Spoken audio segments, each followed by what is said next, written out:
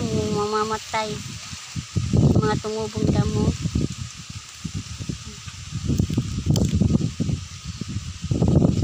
Para mamatay yung damo niya. No? Madaming pang proseso kung pa mula pag umpisa paggaling. Bago to, ano ba yun, dati, maraming damo, isprihan mo na para mamatay bago siya dadaruhin. Yun yung ginagawa. niya. Laki-laki na kasi yung mais nito. Kailangan isprihan para matay na pati yung mga tumutubo. Yun ang buhay sa bukid. Pag nagmamais,